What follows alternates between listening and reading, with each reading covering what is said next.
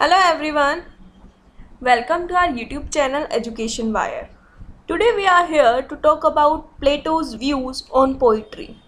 इससे पहले भी प्लेटो के बारे में हम अपने पहले की वीडियोस में डिस्कस कर चुके हैं अगर आपने अभी तक वो वीडियोस नहीं देखी हैं तो आप उन वीडियोस को हमारे चैनल पर देख सकते हैं so let's talk about Plato Plato was an Athenian philosopher during the classical period in ancient Greece around 428 BC तो एंशंट ग्रीस के टाइम पर ये एथेनियन फ़िलोसोफ़र थे और साथ ही साथ ये सोक्रेट्स के डिसाइपल भी थे।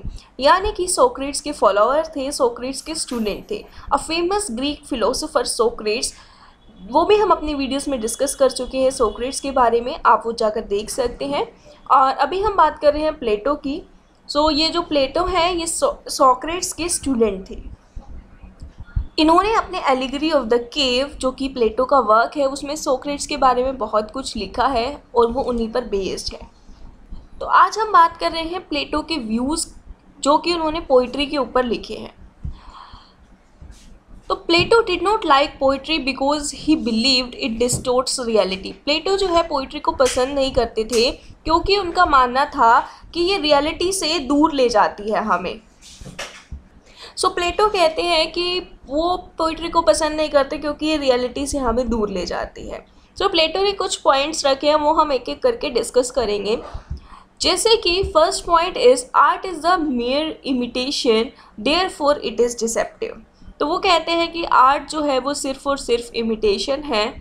फिर भी हम उस पर बिलीव कर लेते हैं। फॉर एग्ज़ाम्पल जब हम कोई मूवी देखते हैं हमें पता है कि वो मूवी जो है ऐसे ही कंटिन्यू चल रही है, उसमें परफॉर्म किया गया है और वो सब कुछ रियल में नहीं हो रहा उस टाइम पर, लेकिन फिर भी हम उस पर ऐसे बिलीव करते हैं जैसे कि वो रियल हो। तो उनका कहना है कि आर्ट सिर्फ़ और सिर्फ़ एक इमिटेशन है, फिर भी हम उस पर बिलीव करते हैं। बट यहाँ पर इनका कहना है कि जो भी चीज़ हम देखते हैं, वो सिर्फ़ और सिर्फ़ एक कॉपी है, क्योंकि एक्चुअल थिंग जो है, वो हमारे माइंड में है, वो स्पिरिचुअल रियलम है, जो कि चेंज नहीं हो सकता। इन्होंने काफ़ी सारे एग्ज़ाम्पल दिए हैं फॉर एग्ज़ाम्पल इन्होंने चेयर का दिया है, जैसे कि जो आइडिया अगर हमारे माइंड में एक चेयर की पिक्चर है, एक चेयर है अगर हमारे माइंड में कि हमें इस तरह की चेयर चाहिए तो वो जो आइडिया है, वो स्पिरिचुअल रियलम है एब्स्ट्रैक्ट आइडिया है, जो कि चेंज नहीं हो सकता, वो इमेज चेंज नहीं हो सकती, वो माइंड में जो है, वो स्पिरिचुअल है, वो एब्स्ट्रैक्ट है तो वो जो है, वो फ़र्स्ट चीज़ है। वो फ़र्स्ट कॉपी है, वो उसे ओरिजिनल मान सकते हैं। लेकिन इसके बाद जो सेकंड ऑब्जेक्ट है, अगर चेयर हमारे सामने है तो वो सेकंड कॉपी हो गई। और अगर हम उसकी पेंटिंग बनाते हैं तो वो थर्ड कॉपी हो गई। So according to him art जो है सिर्फ़ और सिर्फ़ एक इमिटेशन है।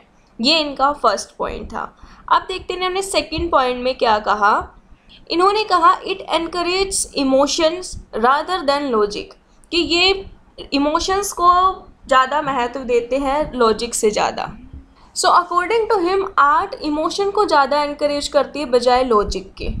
क्योंकि इनका कहना है कि पोइट्री जो है रेशनल नहीं है पोइट्री लॉजिकल नहीं है, बल्कि पोइट्री इमोशन को एनकरेज करती है लॉजिक को नहीं। यहाँ पर किसी तरीके की कोई जजमेंट नहीं हो सकती, सिर्फ़ और सिर्फ़ इमोशंस प्रेजेंट किए जाते हैं एक पोइट के। So according to him poetry में जो भी कुछ होता है वो इमोशंस पर बेस्ड होता है कॉन्शियसली कुछ भी नहीं होता। लेकिन हमें जो सब कुछ करना चाहिए इनके अकॉर्डिंग वो सब कुछ कॉन्शियसली होना चाहिए। जो भी कुछ हम करते हैं हमारे एक्शंस पर जजमेंट होनी चाहिए लॉजिक होना चाहिए और सब कुछ कॉन्शियसली होना चाहिए। जबकि पोइट्री में ऐसा कुछ भी नहीं है इसीलिए ये पोइट्री को पसंद नहीं करते। सो so, ये थे इनके दो पॉइंट्स अब बात करते हैं थर्ड पॉइंट के बारे में जिसमें इन्होंने कहा कि art is useless whether it is poetry और एनीथिंग एल्स तो इनके अकॉर्डिंग आर्ट यूज़लेस है चाहे वो पोइट्री हो या कुछ और हो। सो so, इनके अकॉर्डिंग सोसाइटी में जो कुछ भी है उसका एक यूज़फुल पर्पज़ होना चाहिए। अगर उसका पर्पज़ नहीं है ये फिक्शनल चीज़ें जैसे कि पोइट्री है या फिर कुछ भी आर्ट है मूवीज़ है या बुक्स हैं फिक्शनल चीज़ें इनके अकॉर्डिंग वो नॉलेज नहीं प्रेजेंट करती किसी को नॉलेज नहीं देती सिर्फ़ और सिर्फ़ फिक्शन है।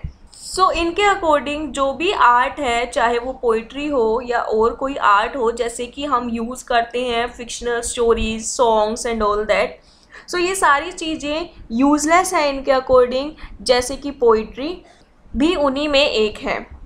इसके बाद ये कहते हैं it encourage immorality so according to him art जो है हमें इमोरलिटी की तरफ़ ले जाती है, ना कि मोरलिटी की तरफ़।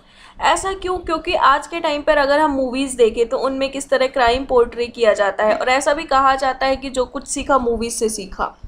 तो इट डिपेंड्स सो इसी के अकॉर्डिंग इन्होंने बोला कि आर्ट इमोरलिटी की तरफ़ ले जाती है। ये बात कितनी सही है और कितनी गलत, ये तो डिपेंड करता है। लेकिन ये प्लेटो के व्यूज़ थे पोइट्री को लेकर आर्ट को लेकर। तो this is all about Plato कि इन्होंने बोला कि आर्ट यूज़लेस है, ये इमोरलिटी की तरफ़ ले जाती है, या फिर ये इमोशंस को ज़्यादा इंपॉर्टेंस देती है, बजाय कि रेशनल थिंकिंग के। इसी वजह से ये पोइट्री को पसंद नहीं करते। So I hope you guys understand about Plato's views on poetry. If you understand, hit like, share it and subscribe it. Thank you.